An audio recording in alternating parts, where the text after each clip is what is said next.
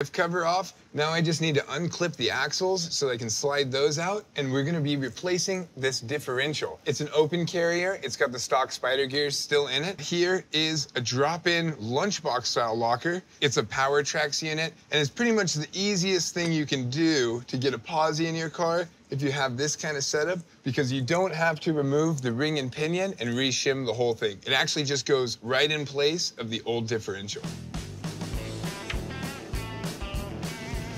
One.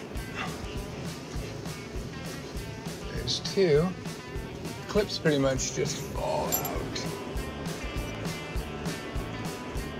Now we can pull these out. That is the right side. Sweet. Left side. That's all the old spider gear and differential pieces out. Now to assemble the other one on the bench and uh, see if it fits.